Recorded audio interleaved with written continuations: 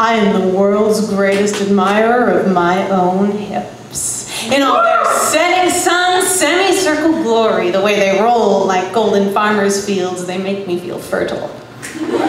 So when I start losing weight, they're the first things I miss when I look in the mirror and I wonder where the hell I misplaced my body and who this skinny bitch is I woke up in this morning because it's getting freaky fucking Friday all up in this shit. I got rises and dips and dimples I never had before and I might be imagining this. It's hard to be sure because I never really weighed myself that much before. I was never good with numbers and sometimes they won't serve me beer because I can't even remember the height printed on my out of province ID 554 or five three, and I never really lost all that much weight before. I mean, sure, there was that time in first year university when I wasn't eating meat or wheat or dairy on principle, but still, you'd be amazed how much weight you can retain on a canned chickpea diet. And new runners always say, like, I never used to run unless chased, but I never ran when chased. My of rampaging wild animals or a zombie apocalypse mean to lie down, compose a poem, and contemplate my coming death.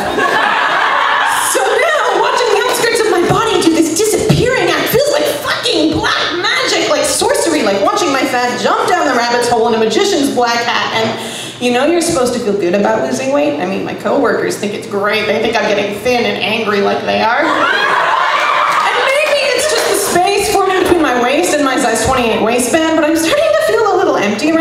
like someone's trimmed my hedges just a little out of shape. And I don't know why I started doing this in the first place if I was just trying to lose weight or trying to scrape up some feeling of control over my bodily fate because the line between in control and out of it is looking really small lately. And I know I have a history of overachieving, so at the end of a run, my heart is screaming and my body is heaving and the world I am seeing is reeling off balance.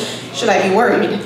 And I know I have a history of OCD, so when for the first time in my life I feel like I can clean my insides, should I be worried? Because self-discipline gets vindictive and the runner's high is addictive and those three nights a week, three miles in 30 minutes, who am I running from?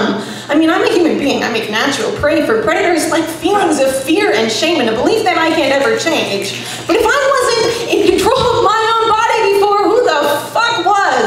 And am I not the world's greatest admirer of my own hips? When I put the chips down, can I not decide to do this losing weight shit anytime I like? So for tonight, I'm saying it's alright if I leave the running shoes, put away the bike, and take a break. Because I want to run for the fun of it, not because I'm being chased.